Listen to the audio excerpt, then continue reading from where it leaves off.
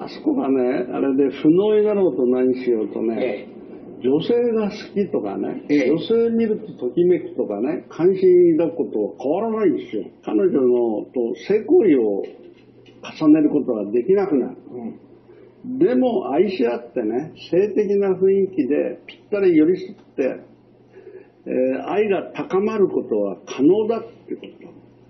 それは忘れないでほしいんですよね。男だけですよ、性行為にこだわってるのは。